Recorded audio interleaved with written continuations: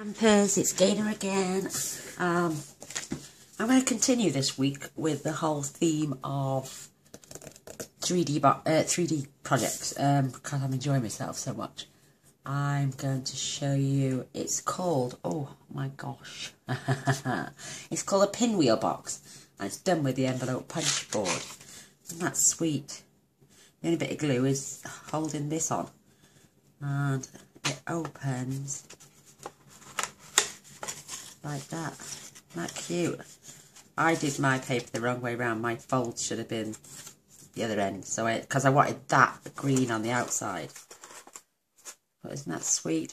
Uh, and you can get your embellishments in here. So they make a lovely gift. Or you could get a nice candle. Or, um, or Reese's up to pieces. So you've got to do, you're supposed to do it, if these flaps were on that side, you do it clockwise, but mine are going that way, so I'm doing mine anti-clockwise. So you fold, fold, fold, and no, it's wrong. That's right. Fold, fold, fold, and tuck. No, it's still wrong. I just confused myself. So I'm still going clockwise, so I need to go that way, that way, that way, now minding all my flaps, aren't I? yeah. Oh gosh, I get there. No, I was going clockwise again, that's why. Right.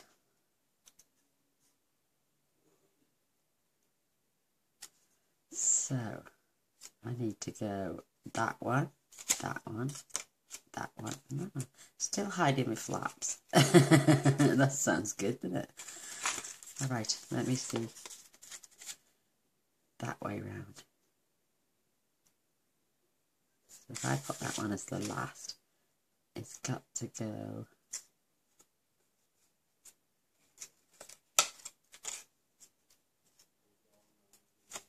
I think that's right. Now,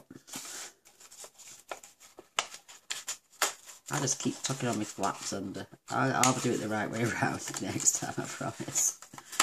Oh, my silly sausage. That's better. Yay.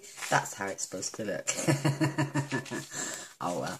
You know me, I always get things backwards. Right, you're going to need your envelope punch board and a piece of design series paper.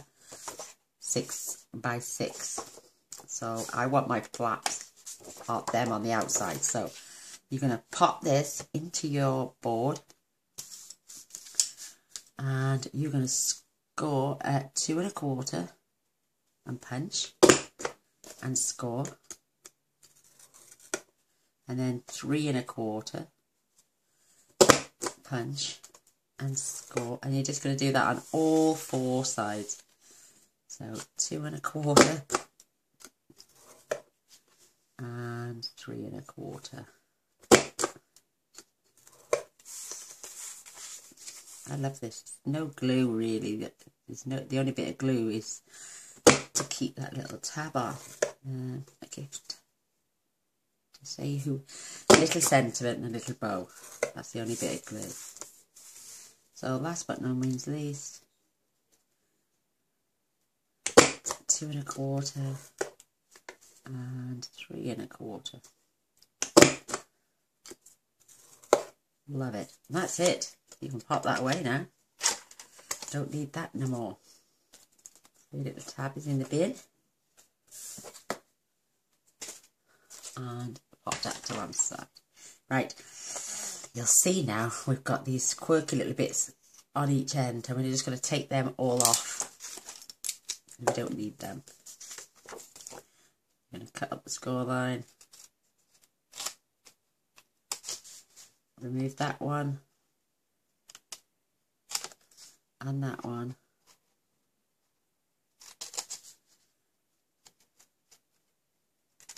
And all four lines.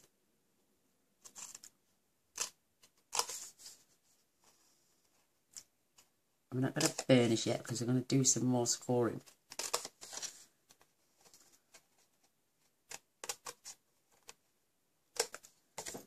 But we'll use the scoreboard for that.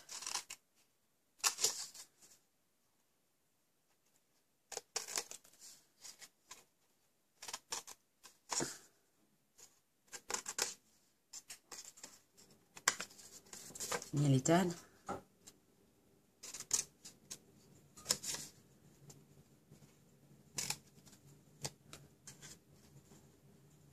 Last one.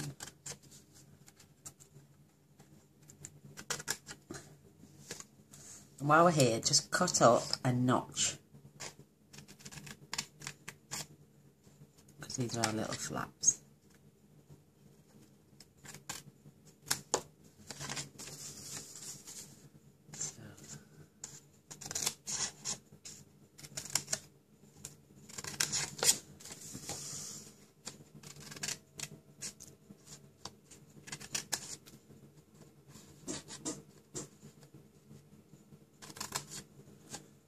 Our guests turned up from last night again tonight. I invited them for a spot of something to eat.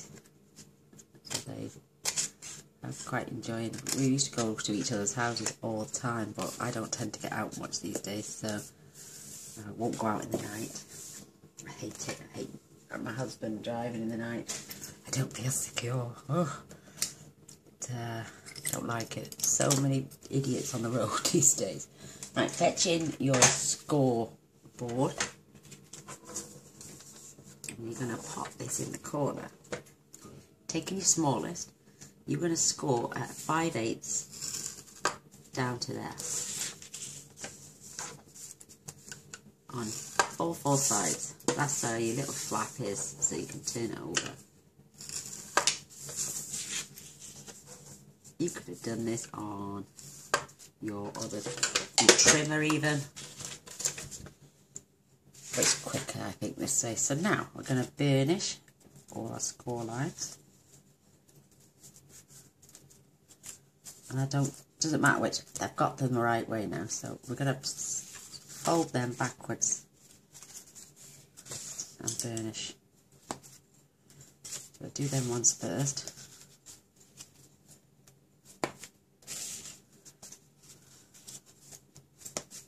So simple. Cute little box. You could put a little, you know, a nice little pair of earrings or a nice little bracelet would fit in there. Beautiful. So now we've done the outside ones, we're just going to go in and burnish these score lines as well. The flaps are done, so we can get them out of the way. So cute.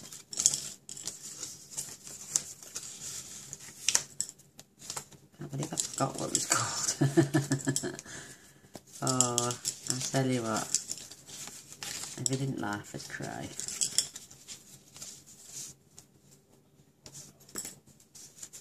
Isn't that pretty? So we're going to turn this over now with our lovely flap and we are going to add some Tombow. Not Tombow. We could use Tombow, but I'm going to use Fast Fuse for the video.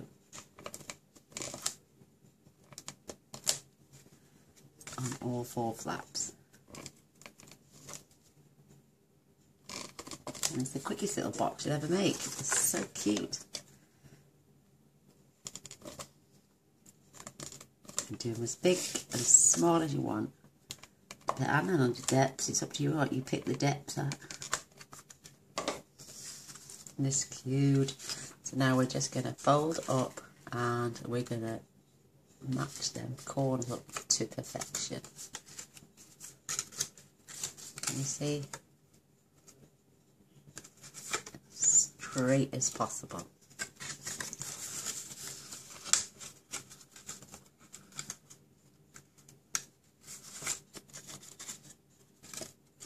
I'll be posting another uh, 12 of the thank you cards tomorrow and then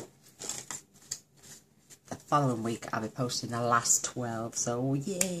So let me just grab some more embellishments because these fit perfectly. I got the little sequins this time. Pop them in your box. Look how perfect that is. So now we are going clockwise I think. Oh have I done it wrong again Uh, let's try.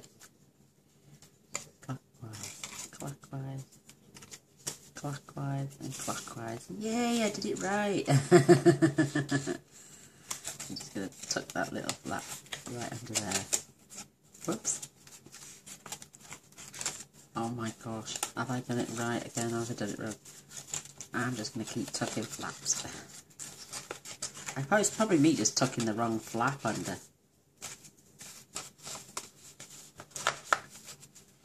Oops. Oh, come on.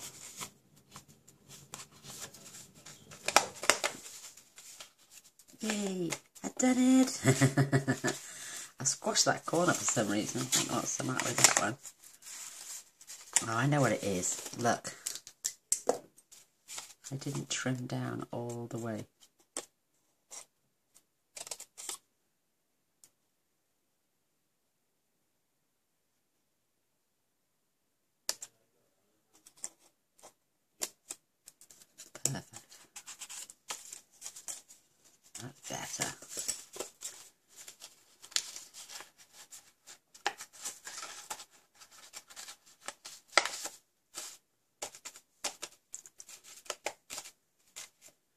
Now he's a little bit squashed. That's it. It's just squashed in that corner for some reason. He doesn't want to stay up. Oh, see, it keeps popping down. Perhaps it's perhaps me just being a little bit heavy-handed.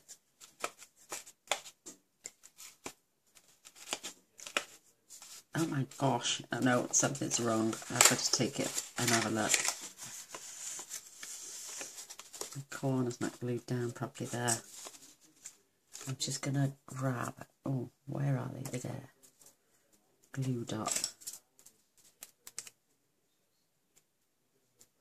I don't know why that didn't stick down. Probably not enough fast fuse.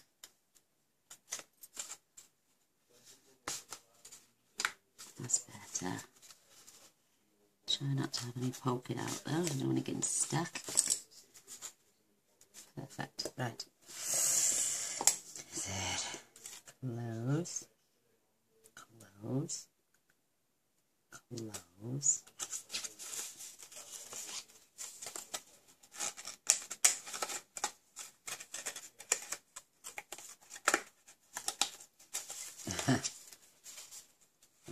Always me back to this corner, doesn't it?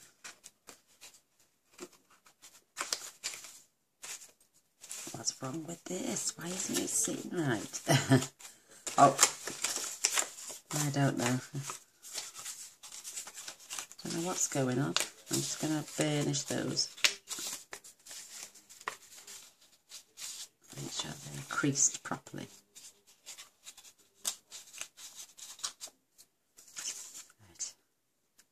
One, two, three,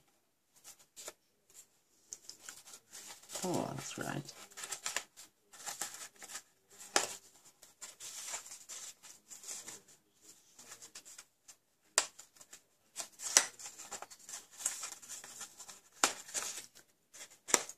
That's, yay, that's better. Just a little bit of a crease out there. Oh, but that's uh, I've already gone ahead. This is out of Wood Words, if I can just reach. And lovely little tag there saying for you. And if you buy the set, it comes in a bundle. And that's the little gift tag that cuts out. Um, now we're going to attach a little bow.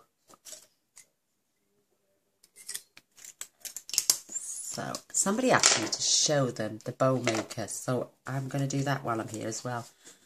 The lady didn't know how to use it. It's so simple. She bought one. So you're going to put your pegs in and decide how big you want your bow. This one is going to be a small one, so I'm going to leave them, say, one, two spaces in between. Let me see if I can uh, tilt this.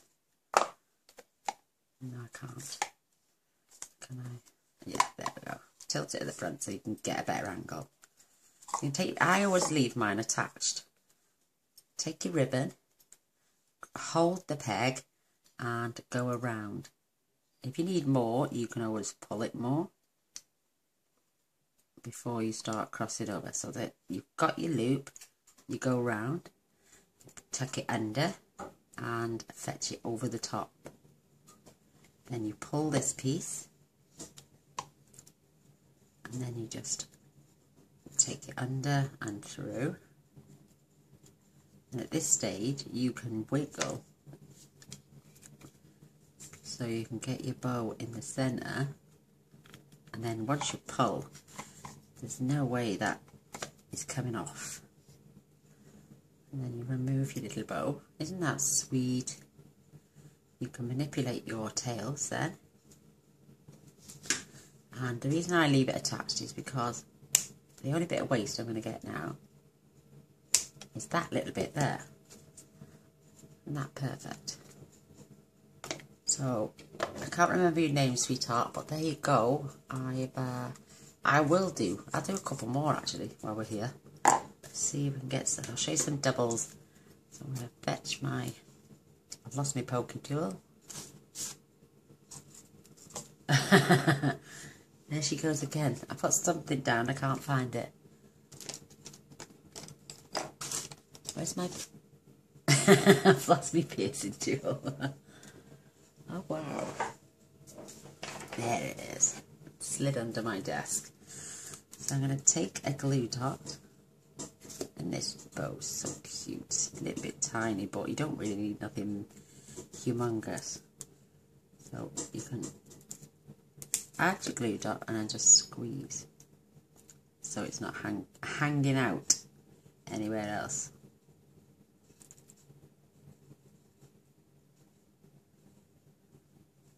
And then attach that to the little tab on there because we're gonna and then you're to take another glue dot or two and just add them That's sweet. And we're going to just pop that right along there. And that's, if you want, to see that's the only bit of waste. I will show you some more bowls in a minute and um, with different um, ribbons as well so get a, a better view. We'll do some double uh, bowls and we'll do some triples as well while we're here because I haven't done a lot tonight. So I'm just going to grab a little rhinestone I'm going to pop that right there in the centre of that little for you. So that's our little box. For some reason it's a bit squashed for some reason. And that's the other one I made. Perfect. I don't think they're meant to join too much. But there's the little boxes. Hope you like them. I'll leave them on display. Right. I'm going to fetch this bow maker back in and you've got one, two, three, four, five, six, seven holes. You want a massive bow using big ribbon, obviously. I tend to leave mine uh, with two in a gap and you get some perfect little bows like that. Perfect. Right, let me grab some ribbon. Let me show you with this new beautiful organza ribbon, which you can colour any colour you want with the blends. I'm just going to grab a piece of paper.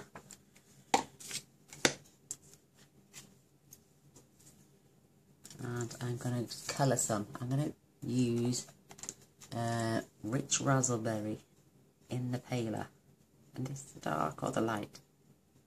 That's oh, the dark. Let's grab the light one.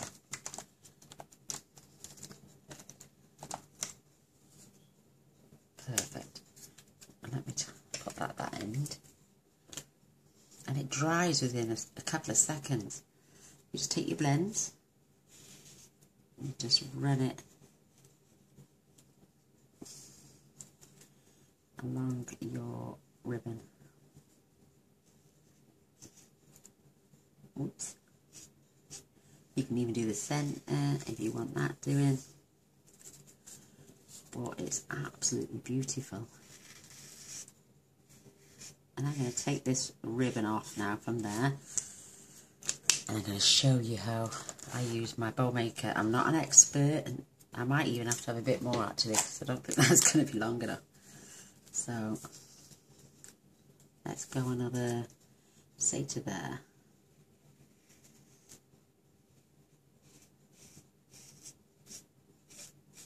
Isn't that pretty? And you can even turn it over and do it on the other back so you know there's no white showing anywhere.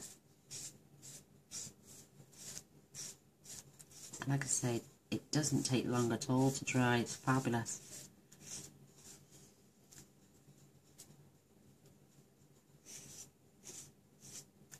Perfect.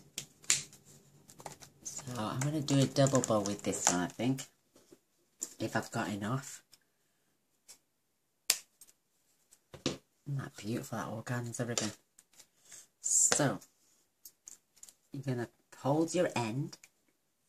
So you've got enough to make a tail, say. That's plenty enough for a tail. Hold it on, wrap it round once. I'm going to pull it a bit more because it's got a lot of ribbon.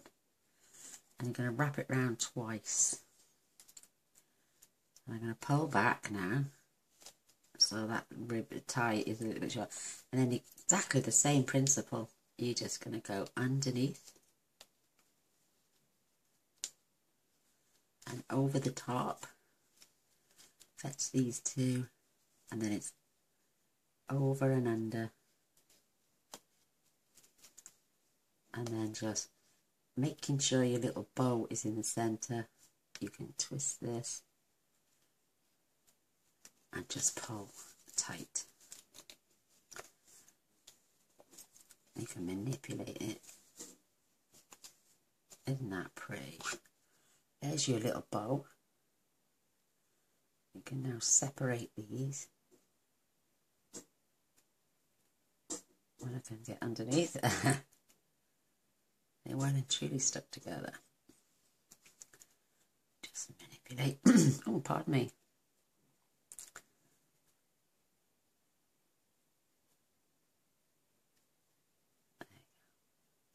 That it?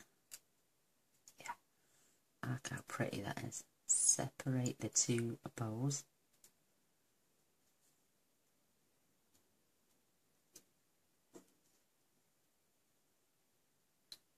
Me, deep con my tongue's sticking out here. deep thought, see.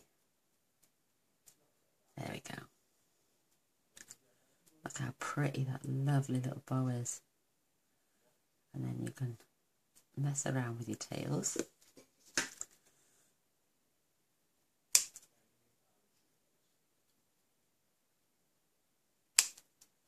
Isn't that beautiful? So you've got that one bow there.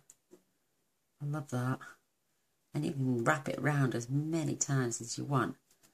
I'll show you a double bow now using let me see if I've got any old retired. I've got some old retired stuff. I don't even think it's Stampin' Ups actually. No, it's not. So I'm going to cut this about, and I'm going to move this one, make it slightly bigger. I'm going to cut two lengths at 10 inches. Give myself a nice little bow. Don't mind practicing with the non Stampin' Up ribbon. It's my Stampin' Up one, I don't want to go uh, wasting. So you're literally going to take both ends. And you're just going to repeat the process. Keeping those together. Wrap that around. I'm not going to go round twice because it's a bigger bow. We're going to then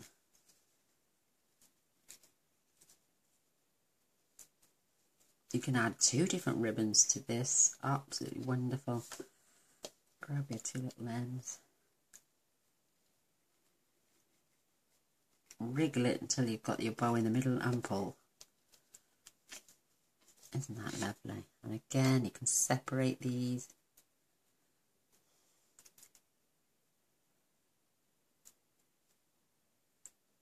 Absolutely stunning. Oh, look at that. Isn't that pretty?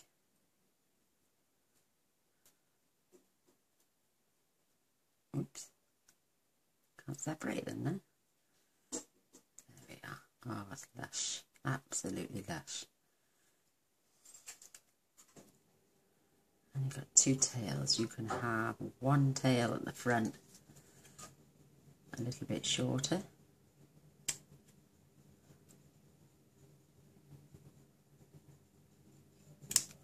And then one at the back, a bit longer.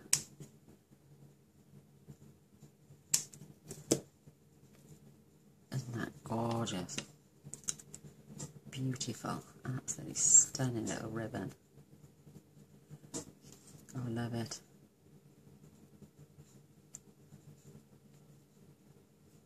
Isn't that pretty? So there's those two little bows. Get rid of this uh, I'm going to show you one now with the gingham ribbon. Absolutely love this stuff. Makes a beautiful, beautiful bow. Last one.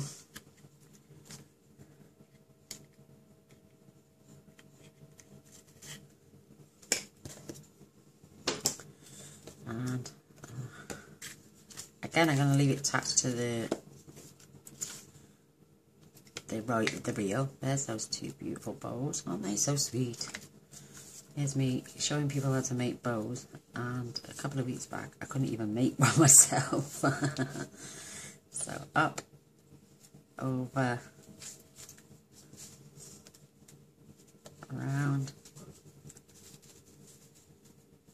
up and under, through the loop.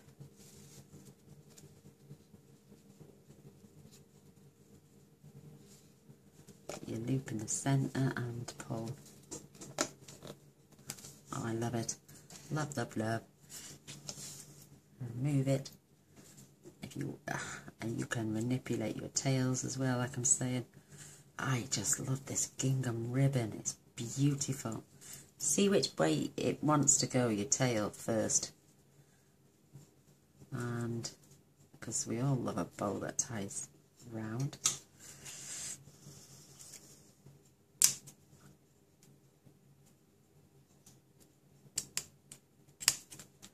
Oh, I love it. Isn't that pretty? So, there you go. That's the only bit of waste I had off that ribbon. And these will get put to another project, so they won't go to waste. Absolutely adore the gingham ribbon. It's so pretty. And this one, oh, beautiful. So, I hope you uh, can follow that now, my lovely. Um, I do apologise for not remembering your name. I've have so many questions and so many um, comments that I, I love to answer, and I love to answer them all, but uh, I said I would try my best and do one for you. Isn't that pretty? You're going can go buy some of this. I wonder if this would stain. Let's, let's have a quick, let's have a go with the pink pirouette. I've just thrown that piece of paper. I suppose any ribbon. It's got to be the alcohol marker. Yeah, look at that. It's beautiful. Lovely tinge. Oh, wow, love it. This I chose the paler colour. Give it like an ombre effect. You know where you go right along the edges Oh, it's pretty. Really, really pretty. Just a subtle hint. And you can go back into these grooves. Rub along the edges. Oh, wow, I love it. I love it. Love, love, love. Well, I hope you enjoyed everyone. Um, thumbs up and a share would be amazing. That would really make my day. And if you want to subscribe to my channel, that would be awesome. Uh, and don't forget, if you do press that subscribe button, please press the little bell afterwards and you'll be notified daily of all the videos I upload, which tends to be every day unless I'm absolutely dying. So, and uh, I made this little origami gift box earlier at the, uh, at the Merry Music. So I might make that tomorrow. You never know, unless I can find something else. Until next time, love you all. Take care. Bye.